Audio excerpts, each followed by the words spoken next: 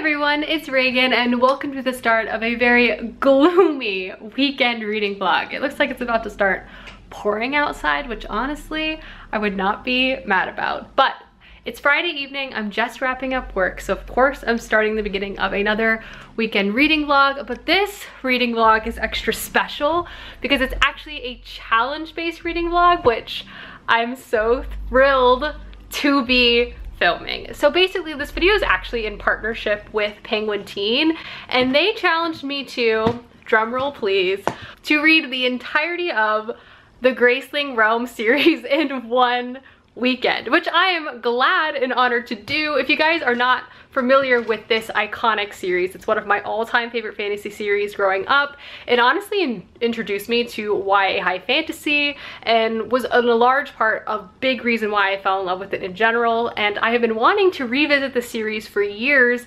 and this month felt perfect for a variety of reasons, but mostly because there's a new book coming out in the Graceling Realm series, Winterkeep, which is actually by the time this vlog goes up out now. We'll have information on where you can purchase and learn more of that book down below, but I am, again, thrilled to be filming this video. When they challenged me to do this, I was like, yeah, it's like you're reading my mind or something. And I know a lot of you guys are huge fans of the Graceling series and I'm particularly just excited to revisit this world because it had such significance to me. Um, growing up. Like to read these books just means so much. I'm also thrilled because I have the new covers. I'm actually gonna flip you around and talk about each of the books in general. So ahead of this video, they actually sent me the newly released covers, which are absolutely stunning. Let me put them in order. But my plan for this weekend is to, yes, read all of these books um, or attempt to read all of these books, starting with Graceling, then Fire, then Bitterblue. The Graceling Realm series is great because each one kind of in its own way acts as a standalone, as each one focuses on its own primary main character, but the politics and the world are all interwoven and connected in a very satisfying way, particularly between Graceling and Bitterblue. There's a lot of political connections, but in each of these you follow a new primary female main character and their trials and tribulations and political machinations that they have to work through through. Um, and I just love them so much. Graceling is like a foundational novel to my life. Um, and Fire also destroyed me as well. And so did Bitterblue actually. I guess this was just an emotional ride from beginning to end. But yeah, I'm gonna be rereading all of these books throughout the course of this weekend, starting obviously with Graceling and moving on through each one. Again, in preparation for Winterkeep, which is one of my most anticipated books of the year. I'm just thrilled to be back in this world. It's like coupling like nostalgia, but also just wonderful YA fantasy reads. I'm thrilled. But yes, that is the thought and premise of this video. I hope you guys are excited to follow along as I reread all three of these books and share my thoughts and feelings along the way. Um, again, big shout out for Penguin Teen for sponsoring this video and challenging me to do this, as this is again one of my all-time favorite series. I'm excited to film this. It's going to be a bit of adventure, but welcome to the vlog. I'm actually going to put my work stuff away and grab a cup of coffee. This vlog, I'm obviously starting with Graceling, which is the first book within the Graceling Realm series. Funny story, um, I finished my book a little early last night, so I was like, oh, I'll start this and just get like 50 pages in, get a little bit of a head start. Like, it's a lot of books to read in one weekend. You know, it'll help me a bit. Anyway, I read 250 pages of this book in 24 hours. I'll talk more in depth, but let's just say my reread of Graceling is going very well. And honestly, in some ways, I feel like I'm loving this book even more than I did the first time. Given that it was one of my favorite books growing up, I feel like that's saying something. But I don't know, I just really appreciate some of the decisions um, that Kristin Cashore made, especially given the era when this was written for a YA fantasy tale. But I'm gonna get some coffee and I'll give you guys a synopsis of this and my initial thoughts and feelings as I'm over halfway through at the moment. Ignore my messy counter, but ember mug, coffee must be had. So to sit down and give you guys a brief synopsis of Graceling, um, the first book. This is set in the Seven Kingdoms and Bitterblue is also set in the Seven Kingdoms, but within this first one, we primarily follow our main character, Katsa. And in this fantasy world, um, the Seven Kingdoms are each ruled by different kings and they're all very much interconnected politically. You know, there's border skirmishes, a lot of politics at play in terms of which king is one maintaining their own hold and power over their own land but also sometimes ploying to gain more power from other lands that surround them. In addition, in this world, there are individuals who can be graced. What that means is you are born to be exceptionally good at something and people know that someone's going to manifest a grace because they suddenly have two different colored eyes either when they're a baby or a small child Graces can really range in what they are, from being great at swimming, to baking bread, to being an exceptional dancer. Our main character, Katsa, is exceptional at killing. Because of this, she is a very important like figure within her own kingdom's court um, and she is used as a like enforcer or a strong arm to kind of maintain her king's power um, and she kind of struggles underneath this for a variety of reasons. One people in general in this world don't trust people who have graces but particularly her grace has really given her a violent reputation Two, she doesn't feel like she has much control over her life. She's constantly being sent off to do these very brutal missions and in a lot of ways she has no control over how she actually carries them out. And three, she also feels very stifled by court life. She doesn't want a lot of the traditional things that women are supposed to want from marriage to having children. In a lot of ways, Katz is really struggling with just kind of making it day to day, but she's also really involved with kind of like a resistance network. And in a way to kind of gain some more control in her life, Katsa essentially has created called the Council, is supposed to kind of circumvent a lot of what the damage she's forced to do in working for the king as the council kind of works as a non-partisan as it's not directly connected to one kingdom to help anyone and everyone in need and that is what the book essentially opens on. At the beginning of the book, Katsa is on said one of those missions, and that is to basically kidnap back the king of Lienid's father from another kingdom, which is confusing as an opening because this particular individual doesn't really have any political power and it's very unclear at the beginning of the novel the motivation as to why someone would kidnap him. So she's kidnapping him or trying to save him from being held into the dungeon, but also her and her allies within this council and the network are trying to uncover why someone would try to kidnap him and it seems to be like a larger multi-kingdom conspiracy so they're trying to work through that. And so enters another key and important figure Po, who is the seventh son of the king of Lienid, who has also come to the main kingdoms, Lienid is an island, to try and investigate why his grandfather was kidnapped as well, and Katsa and Po begin to work together, try to uncover this in more detail, and that is kind of like where the sto story begins and where it starts, but Honestly, it has been such a joy to begin to reread the series. One, Katsa remains to be one of my favorite characters of all time. On the surface, there's the obvious reasons. Given her grace of being very skilled at killing people, she's excellent at fighting and combat, and just in general, her, her skill set is one that's really fascinating to read about and really exciting in terms of like what she does throughout the book. She's a very capable individual, but also reading about Katsa, she's also really relatable. I feel like Kristin Cashore is quickly able to make a very dynamic character that you just want to root for so much because so much of Katsa is being so capable in her like physical handling of the world, but she has a lot of uncertainty about how and what she wants to do with her actual life. And in some ways, she's just trying to figure out what is freedom to her, personal freedom, personal decisions, and her fighting to achieve that for herself. And throughout at least 50% of this book, a lot of Katsa is grappling with is her being okay with her own decisions and doing things for herself um, despite the fact that so many people around her are like scared of her or want to use her and her kind of navigating that and kind of carving out her own piece, which is awesome. And obviously coupled with like she's on a quest, which is great. And part of that quest, of course, is along with Po. Anyway, this book has really swept me away immediately. I just am loving it a lot. I'm done with work. I've rambled on for minutes and minutes and minutes. I love Graceling the second time around. Um, and I'm excited to vlog for you guys this weekend. So, all right. I did not get dressed today. I've been wearing sweats all day and I obviously now that it's evening have no reason to get dressed, but I thought I would show you a OOTD. There's Matilda. This is it. These are actually some new sweatpants. I really like them because they're really high-waisted, you know, and roomy and comfortable. So it's a win-win from an outfit perspective. I've personally officially finished up work for the day, so I am on weekend time. Clay still has a few more hours of work, so I am going to actually use that time to read given that I have a lot of pages I need to read.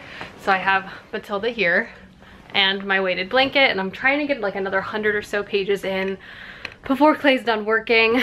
Other weekend plans is the same as usual guys. read as much as possible, definitely apt for this weekend. Um, watch The Crown, we still need to start season three. I spent all of last week watching K-dramas, so I haven't watched any Crown since the last vlog. Um, and then we'll probably get some takeout and just hang out and relax, go on a walk maybe this weekend, but obviously laying low um, for obvious reasons. So that's the overall weekend plan. But now I'm going to sit and read. I can't believe how quickly I'm reading this book. I love Graceling. I could talk about Po every day to the rest of my life. I've loved Po since I was like 12 years old. it's a 14 year long relationship, Po and I. Um, anywho, I'm gonna read now. it's me. Have you on the reading updates early on in this vlog, being very productive. Um, but I've read another 50 pages and I feel like I've got to touch on my favorite part of this book, which is the romance. And this is an aspect of the story I feel like I appreciate more with time and age and that is and in so many ways this romance and like how it's set up is kind of interesting especially in comparison to a lot of the other books that were kind of coming out in this era. But I would say it's very popular in YA and don't get me wrong I'm a fan of this trend um, but I would say it's very popular in YA when there's a romance um, to create tension and angst and yearning by using a lot of miscommunication and people not being open and transparent about their feelings causing a lot of back and forth and allowing that sort of romantic pairing to be drawn out over multiple books. This can be very successfully done and be incredibly entertaining. Graceling has a romance very much at the center of its book, but from the get-go, for the most part, the romance is so much built on communication, transparency, talking about emotions, talking about goals, talking about, there's just so much communication between Katsa and Po throughout this entire book that it just makes you melt for them and root for them and love this budding relationship so much. In a large part, the reason why they have to be so transparent has to do with Po's grace, as he is also a Graceling. Um, but just seeing sort of that foundation starting in friendship and seeing them grow to trust each other and just constantly being open about what they're feeling it's just a really lovely thing to see. And it's true, like I have been, again, I've already referenced how much I love Po and he's just such a soft and sweet um, character within this book and really complements Katsa so well. She is much more stoic and um, given like her, her ability in combat, like she's more quiet and not so interested in like connecting with people. It really warms my heart, I think is the word I'm trying to say. Like, and I just feel like their romance through time is just one that feels like they actually do feel like they're perfect for each other. And um, Po was my second book crush after Edward Cullen, so he just means a lot to me too, but I just, I don't know, like this romance in this I just feel like is really wonderfully done and a really good you know version of this within YA and I just really appreciate it so I just wanted to shout that out too but I don't have very much left, 150 pages, and I'll say the politics and everything are really heating up. This sort of intrigue around the kidnapped grandfather has led to a lot of questions about political alliances between all the different kingdoms and you know maybe one kingdom is hiding and using maybe some secret magic to kind of present a certain illusion to everyone else. It's getting really good, but I thought I would just kind of focus on some of my favorite aspects of the characters first. Clay finished work, so I'm about to go eat dinner and watch some TV but I've read 100 pages, so I'm on page 350.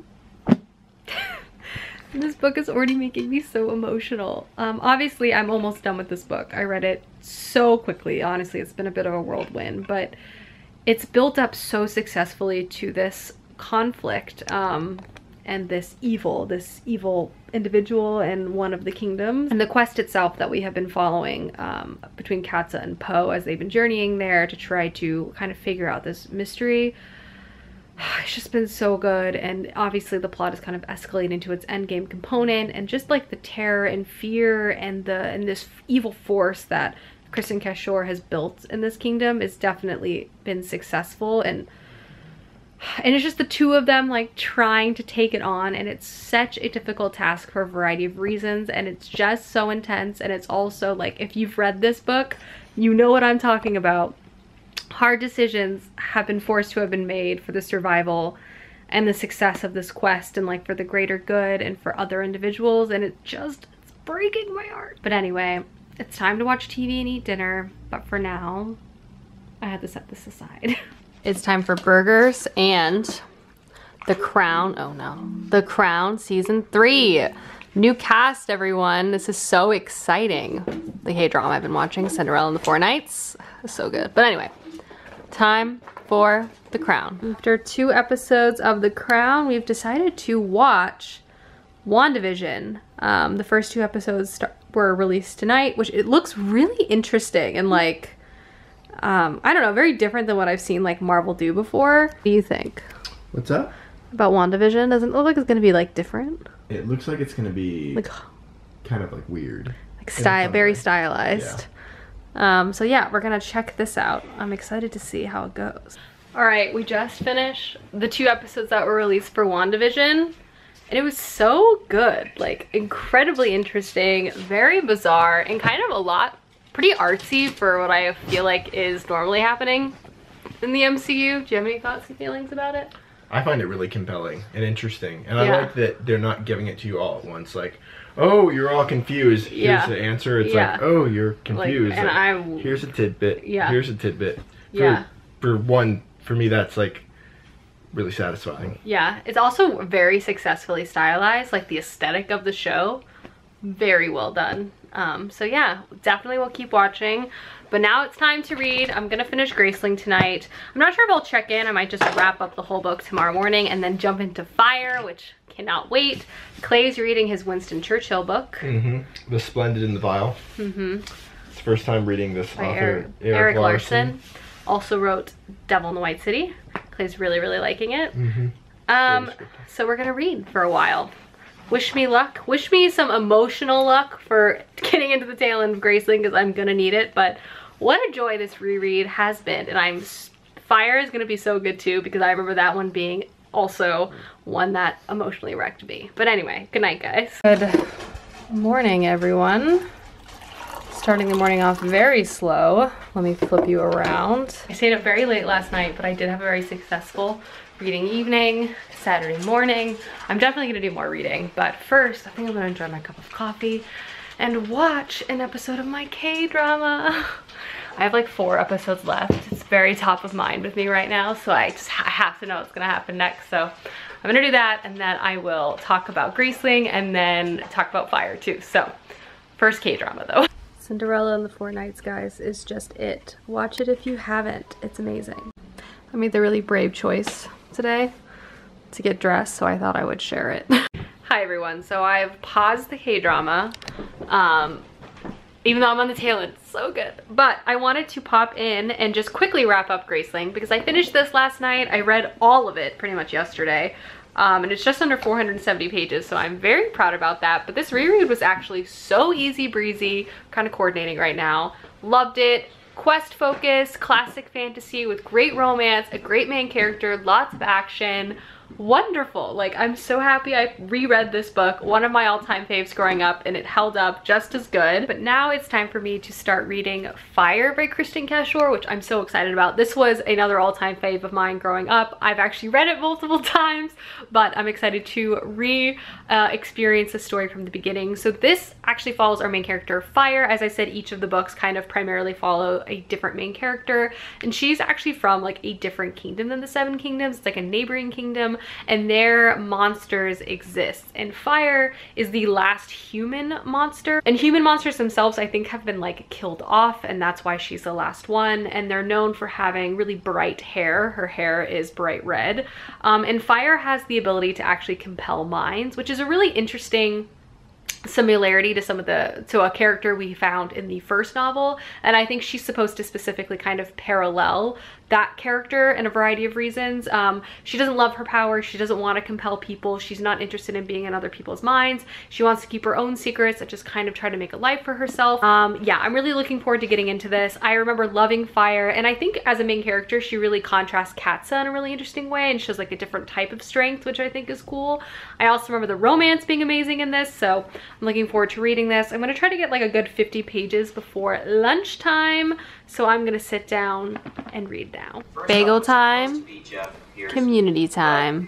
Also, I've read 50 pages. I'm gonna read more after bagel. Hi. I'm in the exact same place as before because as I said, I've been reading. So I've already read 100 pages of Fire and boy oh boy did I fly through this. Um, a lot of it was kind of setting up the world. Again, Fire takes place in a different kingdom than Graceling, which is set in the Seven Kingdoms, and this is set in the Dells. And the Dells is a kingdom that has been kind of torn apart by the last king, King Nax, and his lead advisor, Cansrel, who was his like monster companion, and he also had the mind ability and really it said that kind of controlled and took advantage of like Nax's weaker disposition and also kind of fed into his vices to control and have a lot of power for himself. Both the men were incredibly evil, drove the kingdom into economic ruin, and created a lot of division within the kingdom and in general were just horrible tyrants who did whatever they wanted. Fire is actually the daughter of Cansrel and a human um, and she has his ability to read minds. That's where she gets the ability from. And growing up, she's been raised separate um, and obviously most of her life is trying to not be the monster that her father was, even though everyone kind of expects her to become that monster. And she grew up having to basically navigate her father's moods because while he would willingly torment everyone else, he would do anything to protect her. So she had to basically walk a very complicated line to ensure that her father wouldn't hurt a people around her. I'll say Fire in its opening 100 pages is very dark. The Kingdom of Dells has gone through a lot with its previous rulers and also this book opens on Fire now as an adult King Nax and Cansrel are no longer there. They've passed away.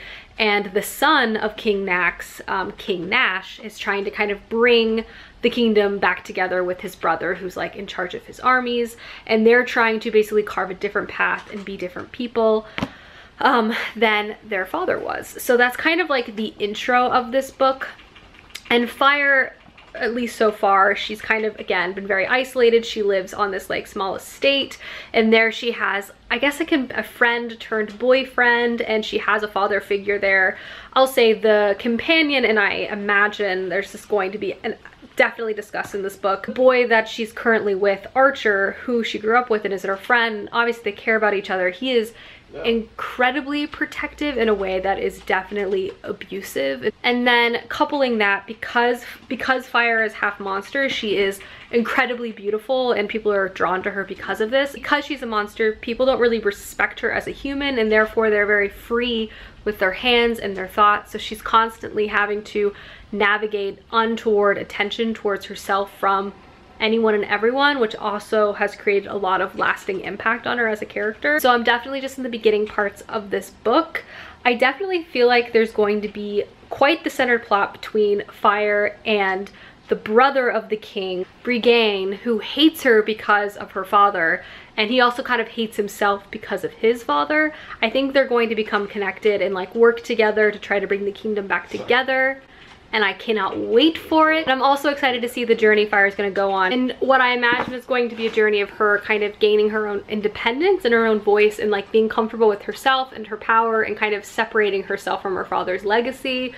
But yeah, first 100 pages, really good very dark though much darker than i remembered in terms of like an origin story and this alternate kingdom is really interesting with kind of the monsters being part of it um and having like a slightly different magical touch than Graceling. I'm gonna read a bit more now. Obviously, I'm hoping to read almost all of this tonight and then reading Bitterblue tomorrow, but I don't feel like that's going to be an issue given, honestly, how good this is. I feel like I can already see the ship forming between Brigan and Fire, and I cannot wait to see how that unfolds. And Archer as a character is terrible, and I hate him.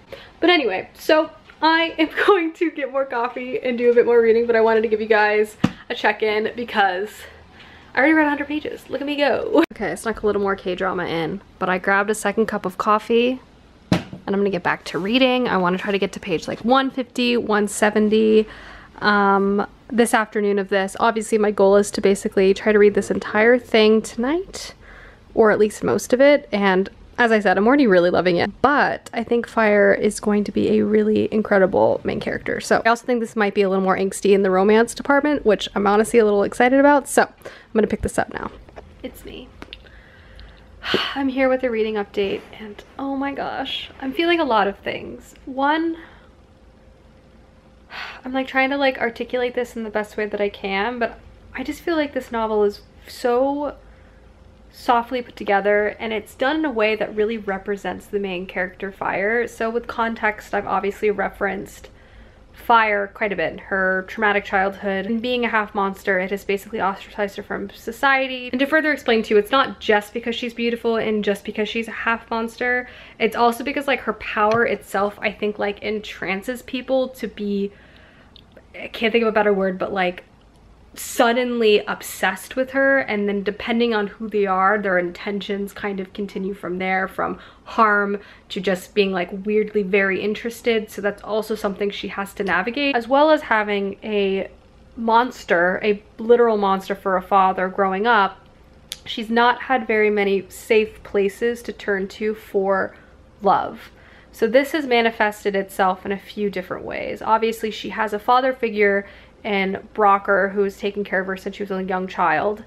Um, and then obviously she seeks love in another character, Archer, who we've seen from the beginning.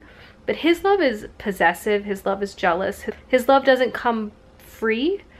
And to see her have to stumble through and navigate his feelings breaks your heart and it makes me just feel so deeply for Fire as a main character.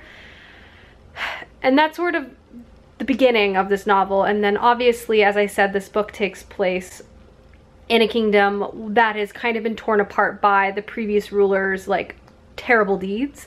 And so because of this, there are lords within the region who are trying to like seize power from the crown, but the son of the once terrible king bring back faith to the crown and kind of unite the country again. Um, and Fire, our main character, is close with those boys' mother, and while she's there and the sons are visiting her keep, she like senses someone, like a spy, they, what she perceives as a spy in the king's rooms. So it is requested after this moment that Fire travel across the kingdom to the central city to kind of help in this investigation and kind of, she kind of gets thrown more directly into politics. She travels there with the son um, and the leader of the guard, Brigan, who I've already mentioned, and they have a complicated relationship with each other initially. There's so much that's beginning to happen, so I'm very much in the journey. They're transporting themselves from Fire's home to the castle keep. And part of it is them, you know, learning more about each other, but part of it too is Fire just gaining freedom in a way that she's never really experienced before. She's still having to go through all of the things I previously mentioned, but she is traveling you know, in her own mind and body. She's away from Archer. She's away from the place that she has basically lived and grown her entire life. And she's going to a castle to, you know, do something to help. And it's like different, I think, than she perceived she would ever be able to do. Um, also just seeing her interact with the soldiers that are like set to protect her as well as again getting closer to Brigan. There's just so much like soft feelings of understanding and empathy. And again, because fire can kind of touch into people's emotions, emotions are just very central to this story too. And I don't know, fire as a character is just like so softly powerful and I'm just excited to see her journey throughout this entire book. Feels like a lot of personal shame and fear and it's just, I don't know, it's just really emotional to read this, I guess is what I'm trying to say. It's like a very layered story because of that because on the surface there's politics and there's you know, conspiracy at play and there's traveling and there's probably going to be a romance, but there's just so much emotion there as well and human suffering that it's layered and I don't know. I, I feel like I'm not being very articulate, but like I just want so much for Fire to find happiness. Anyway, I'm gonna keep reading. I'm definitely gonna try to get over the 200 page mark before I take another break for tonight, try to get halfway through. This book is just like making me feel a lot of things. And again, it's dark and it has a lot of topics. I would say trigger warning for abuse. I would say trigger warning for depression. But yeah, I'm gonna get back to it. This book is like hitting me in the feels a lot. I'm officially like halfway through on part two. Ugh, this book is starting to heat up for a variety of reasons. For one, Fire's beginning to grapple with the fact that she can have power and be powerful and use her own skills and talents without having to be her father. And two, just the general war is starting to amplify and kind of preparations for a larger conflict within this kingdom is kind of coming to a head. Um, and she's beginning to essentially just become more involved in the effort to help prevent the kingdom from falling and helping Brigan and other members of the court. And she's also just becoming more involved in the court, meeting more characters and making friends or just learning and being involved in like different things day to day that was that is definitely like larger than anything she was able to be involved with when she was kind of in her small little corner of the world with Archer and Brocker. So it's so good so far. Like I can't put this book down. I've read so much of it today. I'm still feeling like a lot of emotions. I just find Fire to be a character that is I don't know, like like you just want to root for her in so many different ways, but I'm going to take a bit of a break from reading. I've read a lot, but I'll obviously read more tonight. Again, I'm going to try to finish this or at least get like to page 400 or like 375 or something and then finish it in the morning, but I'm feeling so many things right now. Goodness though, it's already evening. It is time for pajamas oh man, I don't know why I thought walking into a dark room would be a logical thing to vlog. I remember Fire being emotion being emotional the first time I read it. But I think, again, rereading it as an adult, I'm just appreciating aspects of the story I might not have just noticed or like read too deeply in when I was younger, um, which just makes me happy because it just, I, I don't know, I think when you reread any series that you love so much as a kid, you're always a little nervous to pick it up as an adult, but I can say now with full certainty of finishing Graceling and being halfway through Fire, like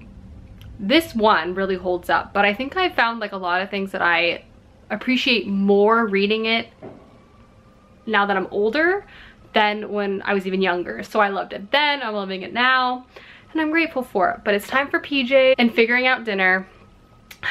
And I need to decompress a bit emotionally from where I'm at in that book. So I just have so many people I want to protect in fire and it's hurting my heart, okay? Hi friends. I put pajamas on, I'm back in these sweatpants, but I wanted to show off my new Snoopy tee. He's got sunglasses on, which I'm a big fan of, but yeah, I bought a Snoopy summer option, you know? Just expanding my Peanuts wardrobe, very important, you know, very important 2021 goal of mine. But it has like a cute little graphic of him sleeping underneath a palm tree on the back, but anywho, I'm in I'm in my comfies, got dressed, that's over now. Let the relaxing commence. I'm gonna watch more of my K-drama. I've decided between the K-drama I'm watching and Kristin Cashore's books, I'm just riding a wave of emotion. And I'm just gonna, you know, lean into it versus try to fight the tears because they're here and plentiful is what I'm trying to say. We ordered pizza. Saturday night, all right, people. Oh, it's like this. We ordered two because that's who we are. Mm -hmm. Looks delicious. Very warm. Success. All right, so we are back on the crown. I finished my K-drama, emotionally overwhelmed by it. So, you know, back to the historical drama that is The Crown. And then I do plan to do our reading tonight, but I was really productive today. So I'm gonna watch a few hours of TV, have a cider, and uh, relax with Clay and Matilda. Relaxing. In your Naruto shirt. Naruto shirt. Made some oven s'mores. One more episode of The Crown I'm gonna watch. And then I'm gonna go read more Fire. But had to make this impeccable dessert. Hi friends, so I am done watching The Crown for the evening, which means I'm gonna be focusing on, strap my retainer, reading. So I got to page 225. Um, I pretty much have, I'm exactly like halfway through. So I think it's a little later than I was hoping it would be, if I'm being honest with myself. So I'm gonna try to read about 150 pages and then finish this up tomorrow morning. I just have to edit a bit tomorrow, so I have the whole day tomorrow to read this and then get as far as I can in Bitterblue. But again, I'm loving Fire so much. And I'm gonna jump in now because I just wanna know what happens next. So time to find out. Hi everyone. It's very late. Clay's asleep, but I've passed the 300 page mark of fire. I'm gonna be brief because I'm sleepy. um, but uh, it's escalating really nicely. I would say fire from a plot standpoint is pretty political. It's very much centered on court politics in the sort of main kingdom and city combining with the fact that Fire's ability kind of leans more into espionage versus like hand-to-hand -hand combat, which we saw more in Graceling. And there's kind of a lot of political maneuverings from like these two different armies and many different people trying to vie for power in this one kingdom. So it's very like political focus, which I like. Um, there's also a lot of characters, well, a lot more characters, I should say. Like, there's some really great interaction between Fire and her guards, and Fire herself is kind of opening herself up to making all different types of connections, um, friendship, and beyond that, which has been really lovely to see. And then to speak, I guess, more about the romance, that is definitely a slow burn, and I'm soft for too. Like, I thought I would, was going to be angsty going in, but I would say it's actually one that's been incredibly compelling. Um, and at the heart of it, it's sweet. And it's a lot about like second chances and like accepting love from people again like allowing yourself to be loved freely without being altered or held back like i don't know it's really sweet and it makes me really happy to read as it's been developed uh, through this book too which i really thought it was going to be like a hate to love angst moment and like for like a hot second there was angst but then it was quickly dissolved and it's changed to something quite different in this like slow burn friendship communication, getting to know each other sort of vibe, and it's been really lovely. But it's late, as I said. I'm making very good progress. I'm going to finish this tomorrow morning with no problem and then jump into Bitterblue, but I'm loving Fire. I think the characterization and everything is just really layered, and I like it a lot. Anyway, it's time for bed. Good morning, everyone. I have coffee. I have my book, which I'm gonna start reading soon, but first I'm wrapping up editing my vlog, which I'm posting today. I got dressed. My video is edited and uploaded. These overalls are a workhorse, I'll tell ya. But now I'm going to finish Fire. I have like exactly 100 pages. I read like 50 pages before I started this vlog clip, so I'll tell you guys some of my thoughts and feelings. But oh my gosh, the intrigue of this is getting out of hand and Fire and Brigan I'm so soft for. Just one of my favorite pairings in a long time. But anyway, I'm gonna finish this right now. That's the plan. And then Clay and I are gonna just hang out, watch some football. I'm being very spoiled because Clay's actually cooking me breakfast this morning. And his, uh, I know, in his uh, national champions. I would pull them out, but I've got needy hands. so with 100 pages left of Fire, things are heating up. fire heating up. But we're definitely in the home stretch of kind of like a lot of the stuff that's been of the conflict itself. And again, this is a much more intrigue focused novel. Um, we're currently at like a gala and there's all of these individuals who are plotting against each other and Fire is using her abilities, which she has been kind of growing into throughout the series to help kind of control and disseminate all the needed information so the kingdom can kind of stay ahead of its enemies. The construction of this I think is so well done. There's like so many threads and plots and you're trying to like break everything down just like fire is. And not to mention there's just like layers and layers and layers of like lying, which is really cool to kind of uncover. And I just feel like uh, Kristin Cashore did a really awesome job creating like a conflict that is really focused on fire strength. Like in Graceling, Katsa was a fighter, so we saw her do a bunch of survival based things, fighting and just like surviving through the wilderness versus fire. And her ability provides her like great um, ability to kind of kind of uncover people's deceptions in extreme social settings. So we're in a ball. By the way, balls and galas within a fantasy setting are always my favorite types of scenes. Everyone's dressed up, people who are secretly in love with each other, do that thing where they look at each other and don't say anything and just stare. I love it. So there's that, but there's also like a lot of stakes at this ball as well. And honestly, the plot twists are happening left and right. Um, and it's just really kind of catching me by surprise. And I'm just loving this book. Honestly, in some ways I might love this more than Graceling. which I thought I would never say because of how much I love Graceling, but there's just the conflict, the characters, the romance in this. I am just swept away. I love it. I mean, both those books are incredible, but I'm just like really into fire right now. I have like 20 pages left of fire. But look at this beautiful breakfast Clay cooked me. Delish. Hey everyone, so I'm happy to report I finished Fire. So two out of three books read for this vlog. Look at all those pages. I loved Fire, honestly. like, I felt like it was a beautiful portrait of like growth and grief and like second chances, as I've already mentioned. It was beautiful and I just loved every single second of it. So this was an absolute joy and it also had some really cool connections to Graceling. This is actually set before the events of Graceling and there are a few like connections I'll just say between them. Um, but now, haha, I am on the third book of the Graceling Realm series, which is the longest book, but I have faith I'll be able to read most of this tonight and then I'll maybe finish it tomorrow morning. Um, but this is actually set after the events of Graceling and we follow our main character, Queen Bitterblue. And within Bitterblue, we actually follow a character we have encountered before within Graceling as a young child, but now she is a young adult and she is a young queen of the Monsea Kingdom, which is a part of the Seven Kingdoms realm.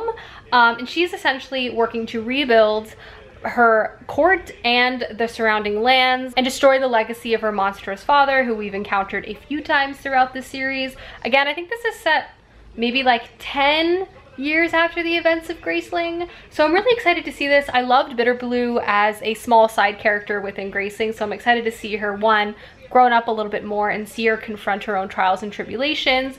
Um, this is the book I probably remember the least, given that I think I've read Graceling and Fire a few times before this reread, versus I think I've only read this one once. So I'm really thrilled to be jumping back into this and rediscovering it. It has some beautiful, like, end pages throughout it, which just bring me a lot of joy, but it's over 500 pages, so I'm hoping to get into the 200s today and then wrap the book up probably tomorrow or just as far as I can get today given that it's kind of afternoon already but I'm gonna jump into this now third and final book of this probably super long reading vlog. Also I wanted to show off that I got some very exciting book mail. I have a physical copy of Winterkeep now which is which is again out now in stores, but look how beautiful. These new illustrated covers, oh my gosh, those end pages are just stunning. How exciting. It's coffee time. We're almost out of coffee, actually. I might need to brew a whole pot. Ooh, just enough. The dregs, friends. All right, coffee, and it's time for me to start Bitterblue. Alrighty, friends. I'm watching some playoff football. I need to deal with those boxes. But I am starting Bitterblue. Um, I don't even know how many pages I've read so far this vlog. I think it's like probably around the 700 page mark. And then obviously with this, I'll be into the thousands. So time to get started. I'm really excited. Um, this kingdom is in the Seven Kingdoms where the Graceling is set, but it borders the Dells, which is where Fire is set. So I'm hoping there's some cross, like some cameos, um, but we shall see. But I'm gonna start this now. Hi, so I've been watching football, having just a relaxing Sunday. I'm about to put my pajamas on, but I wanted to let you know, look at that. I've read over 100 pages of Bitterblue so far and it's so good. The synopsis that I kind of gave is definitely kind of the information I have to give you. Like Bitterblue, young queen, she is trying to rule her kingdom in an actual contrast to our two previous main characters. She doesn't actually have um, like a magical power. She's not graced and she's not, you know, she doesn't have like a special ability. She's just a girl who's actually very good at math, which, you know, in some ways can be considered a special ability. But in the beginning of the book, she's beginning to kind of have this suspicion that she is being lied to by some of her advisors. And she can't deduce why because it seems like the lies are kind of inconsequential, but they're starting to add up. And at the beginning of the book too, she decides to start to take matters in her own hands because part of a lot of her questions is about the kingdom itself. She's kind of kept very much in the castle, so she begins to sneak out and sneak into bars to listen to storytellers. And there she meets two individuals, um, Teddy and Saf, who kind of have like an unclear background, but it seems that they're writing a dictionary. So I feel like a lot of this book has to do with like literacy and writing and stories, which I think is a cool setup and premise. And already we're seeing some fave characters from other books. A lot of fun in and itself, just the cameos, which makes sense because Bitterblue is very connected to Graceling, just set eight years after the events of it. Um, but I'm really liking this right away. Bitterblue is a main character. I already knew I loved her, but seeing her grow up and, you know, trying to make sense of a very complicated job um, it's really good so far and engaging. So I've read 100 pages. I'm about one fifth of the way through, making good progress. And uh, I'll probably take a bit of a break from reading, make dinner, and just kind of hang out for a while. But I'll be able to definitely get back to it tonight and get to the 50%, 50% mark. I'm freshly laundered and whole. Clay made us a cheese plate. And I read 50 more pages of Bitterblue, so I'm 150 pages in. I actually think I'm gonna be able to get over 300 pages tonight. I think I'm I'm gonna shoot for 400. I'm gonna be aggressive, Clay. Might as well keep keep going. This is the most I've read in a weekend, probably in my life. It feels great, to be honest. All right, everyone, I'm gonna make dinner.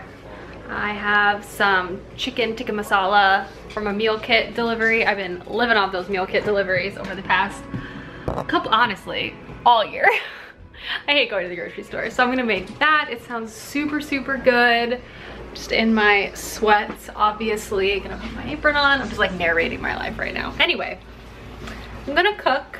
Maybe watch an episode of The Crown and then get back to reading. I'm gonna like sit down and have a good 100 page marathon session. Talk to you guys about it. Take a couple hours break and then read before going to bed. I also need to decide on the next K-drama I want to watch. I'm really excited to pick one out. I'm deciding between two, Hotel del Luna and Crash Landing on You. I need to buy the K-drama streaming service, but I'm gonna watch some more Netflix before I do that. Now I'm rambling. Time to make dinner. Pulled out the rice cooker because I am like 0 for 5 with cooking rice on the stove. I forget it and burn it every time, so we're just going back to Old Faithful. Um, but I'm also cooking onions and chicken together. I think this is a pretty quick meal. Um, that should be really tasty. So here's that. And uh, yeah, that's my update. We're in tomato paste and some seasoning and I'm about to add water and cream to it and then cook it down. Now this simmers for a little while. Top it with some rice. Gonna be very yummy. Bon appetit everyone. And yes, I decided to add some butter to my rice because I love myself. Hi. So dinner is over and consumed, so I'm retreating back into the bedroom to do some reading. I'm gonna sit in here and my goal is to read about 100 pages to get to page 250 before like later this evening and then I'll do like another big sprint before I go to sleep with the goal of getting to page 400. I think if I get to page 250 it should not be a problem at all and not to mention I'm already really interested in this book particularly because I feel like I like that it's very much set in a city and I feel like um, while Fire was set at a court, there wasn't so much exploring the actual people and like day to day of the actual functioning city around the court itself, which this has a lot more of that. But anyway, I am going to sit down and do some reading. Hello everyone. So, surprise, surprise, I'm back because hello, oh Matilda's scratching at the door, that mad woman. I've read another 100 pages, which means past the 250 page mark and I am off topic, so proud of myself. I've read so much over the past three days, but it's also just been so much fun. And in general too, I just want to shout out Kristin Cashore because I've read all these books back to back to back to back, obviously. And I would say like on a surface level, these books have similarities. Each of them follows kind of like a young adult or a young woman coming into her power, coming into her responsibility, and ultimately like what it means for them to be happy. The books, they each go on their own like personal journey to achieve you know, finding themselves essentially in a lot of ways. But also say each of the books are incredibly distinct from one another, which I really appreciate. For one, all of the female protagonists are incredibly different. Each of them have different priorities and wants and desires out of life. They've all had different journeys to where they are in this life. Therefore, they have different emotional you know, impacts to their person and what they prioritize and what they look for is different. And also their responsibilities and desires out of life are all different. And all of those things are kind of celebrated individually throughout the series as a whole. Um, particularly too, I would say the structure of the plot is very distinct between each one. Graceling is very much like a more of a quest centered story, has a lot more action, whereas in Fire it had a lot more like court politics and intrigue given Fire's abilities in it itself and it also kind of centered upon like a larger kingdom based conflict, like kind of a, a civil war versus Bitterblue is much more focused on Bitterblue coming into her ability to rule. So there is conflict, internal conflict, but it's much more of the guise of like, this is a city and a kingdom that has been rebuilding and like coming out of having a very dark period of its history and like moving beyond that. Um, so it has a lot more like city-based politics, not so much court-based politics, which they're definitely there, but like Bitterblue has to go out and interact with the people of her kingdom, which wasn't really a huge part of the first two books um, in this realm-based series. So I just appreciate that each one has like distinct plot points and storylines and Kristin Cashore takes so much care to build these characters and you just grow to love them so much and you grow to understand them so well and I just feel like I don't know they're just like really lovely stories and I've really enjoyed reading all of them so much including Bitterblue um, and this one I'll say is like extra fun because of the references and the characters that we see throughout this from the first two books um, just like as a fan but yeah, I am loving this. I am about halfway through, so obviously making good progress. Saf and Teddy, also great names, um, in Bitterblue, and just, there's just a lot of people in this book, which I just appreciate too. Anyway, I'm going to probably read a little bit more, but then I'll probably take a break and watch some of my K-drama but then I'll get back to reading and try to read as much as I possibly can tonight. I went out and bought us new ice cream, vanilla, but this one I'm really excited about. It's peanut butter marshmallow crunch. Sounds delicious. Gonna crack into this tonight. I think I might just have vanilla because I have some incredible rainbow sprinkles that I want to use, but thrilled. It's time, everyone. I've decided on my next drama It's ice cream o'clock people halfway through the first episode and I can already tell I'm gonna love it. Millie really is just a lounging queen. Watched the first episode of Crash Landing on You and I can already say hooked. Doesn't take much, I'll be honest, but I'm gonna hang out with Millie. She and I are here and I'm gonna get back to reading, which I'm also really excited about because I'm loving Bitterblue. Um, goal is to get to page 400. I'm on 250, so I'm just gonna sit down and stay focused. If I don't do a check-in tonight, it's because laser focused and it's getting late. So I'm just trying to read as much before I inevitably fall asleep. But I will wrap up this whole vlog tomorrow. Um, I'll probably do a bit more reading in the morning.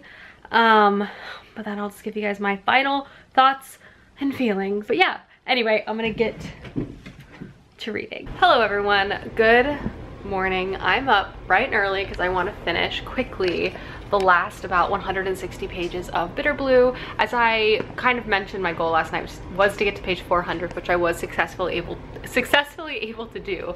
But before I read and wrap up this book, I do feel like I kind of want to give a little more clarity on my thoughts and feelings up to this point because I am really enjoying it. So up to this point, I kind of mentioned that Bitterblue is trying to navigate ruling her kingdom. She feels like she's being deceived by her um, advisors and she doesn't really understand why. And there's also kind of a thievery at play, like things from the castle are being stolen.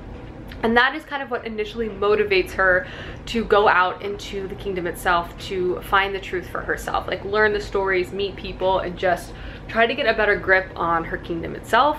And that's where she meets Saf and Teddy, who are kind of involved in their own underground operations. And through that friendship and that development of feeling, she begins to realize more about her kingdom than ever before. I think a lot of this book too is the fact that the previous King Leck, Bitter Blue's father, was a terrible tyrant and monster and given his ability he was basically able to control anyone and everyone and there's a lot of memories and a lot of pain that has not been confronted since his fall and in fact it seems that Bitterblue's castle is more focused on the future but the reality is no one in the kingdom, including Bitterblue, can move on to a future until they confront the past pain that they all experienced.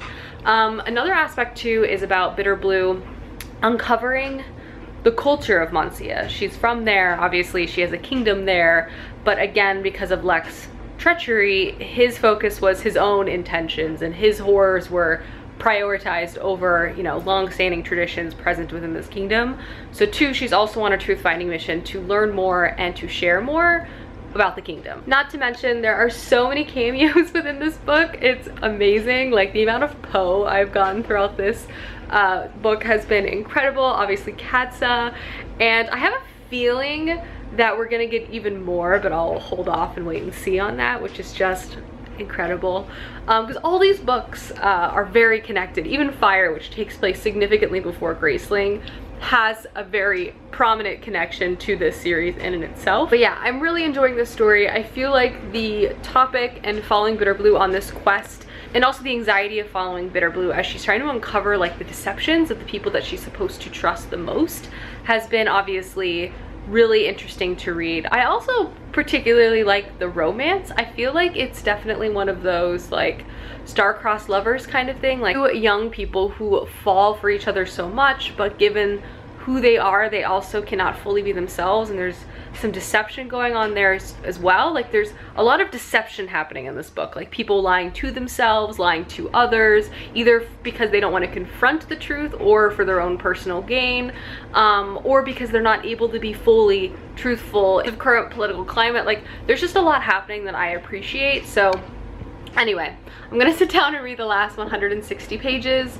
Hi friends, it's a bit later and I can officially say I have finished Bitterblue, I read the last 100 and goodness, I want to say like 60.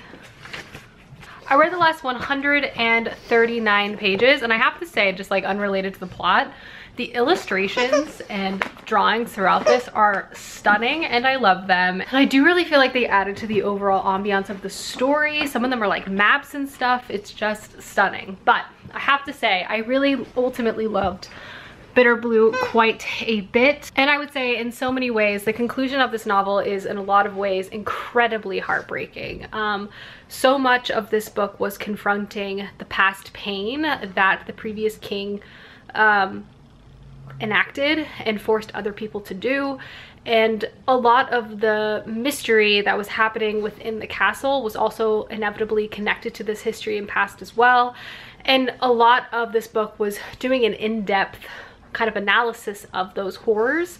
So something I do really want to make sure to call out is trigger warnings for assault, abuse, suicide. There's just a lot of different very dark topics that are discussed at length within this series.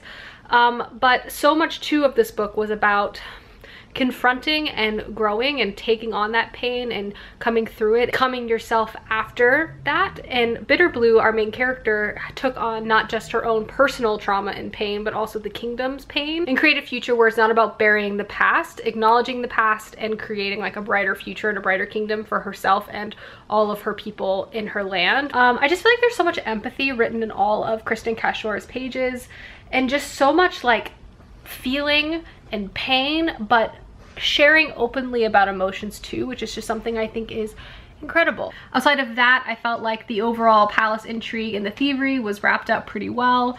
And I also really appreciated how Kristin Cashore approached the romance within this novel um, a lot. And I think it was a choice. And I'm not gonna say anything more than that, but I'm just gonna say I really respect kind of how Kristin Cashore took the romance on within this story and how she kind of treated first love within this book I thought was really well done. And ultimately I thought Bitterblue was an excellent novel. I'm rambling on quite a bit and obviously it is the third and final book to my Graceling Realm reread for this weekend and I can happily say I have now successfully read all three books.